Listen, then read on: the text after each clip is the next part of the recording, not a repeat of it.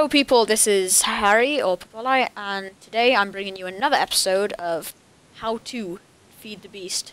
This time we're going to be showing you how to build slash charge an uh, mining laser. So first you're going to need the basic cutter. I'm I'm also here. yeah, Chris is also here. I'm you're going to need the I'm basic cutter. Yeah, you're going to need the basic cutter to start off. We'll get in how to craft these later.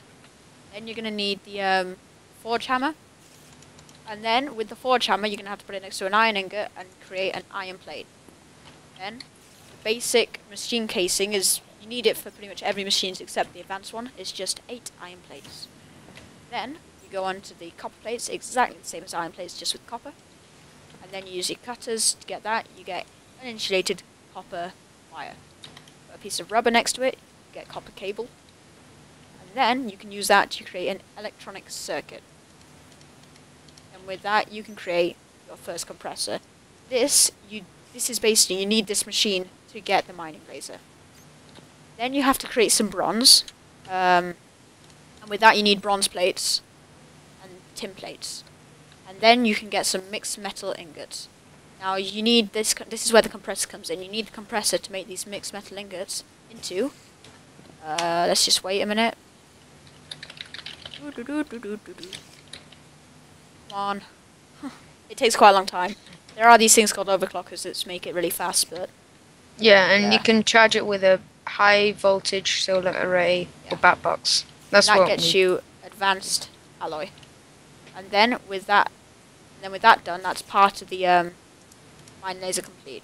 So then you get this, which is an electronic circuit lapis, glowstone and redstone, and gets you the advanced circuit. Another part of it done.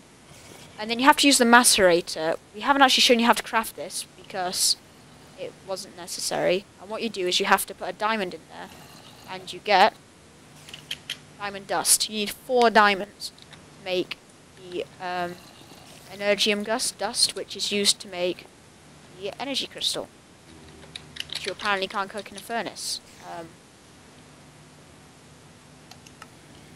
okay, well you have to compress it actually. Okay, well it's a good thing we made that compressor. You're gonna need it for another thing, and you compress that to get an energy crystal, and that creates you your mining laser. Then you can use the MFE charge it up. Well, I think you can use a bat box, but no, you can't use a bat box. In fact, let's just check. You cannot use a bat box to charge. You can't click it in. So you have got to use the MFE or maybe the CESU, but I don't think so. So as soon as that's charged, the, um, what is that? Milk. You you I was trying to get rid of my potion, but okay. you click you click M. You click M to change it, but I've got it set to G. Uh, Yeah, you might want Yeah. to change the controls because M is also your map. Yeah. So it's it's G plus right click or M plus right click, change the mode. And whoa. So mining is basically your mining. Can you not do that, Chris? Mining just destroys I- one uh, a bunch of blocks at a time. Just goes through and destroys it. And then with um, low focus, it destroys one block at a time and takes a l- nowhere near as much energy. Oops. And then with long range, as the name suggests, it just goes a longer range, goes straight through trees. yeah, And also with- the lasers go through glass.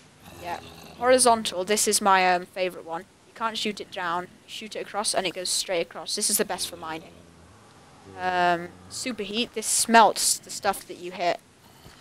It just smelts it. So as you can see, it's smelting it. Uh, let's find a good example. I guess cobblestone. Can you place down a piece of cobblestone, Chris? A couple.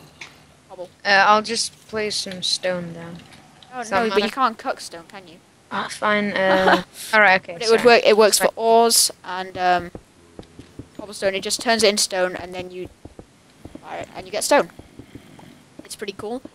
And another of the modes is scatter. Now that one just sends off a bunch. It's pretty inefficient. It's just used for the destruction. Explosive. This explodes, and then we're back to mining. So that is basically the mining laser. It is a very useful tool. I recommend low focus or horizontal for mining, scatter for fun, and explosive for destruction. So yeah, thank you for watching, and we'll see you next time. Bye. Hello, people. This is Polly, and today I'm here to welcome you back to another episode of Feed the Beast Let's Play series. This is episode two, and I've come back today with a very, very full inventory.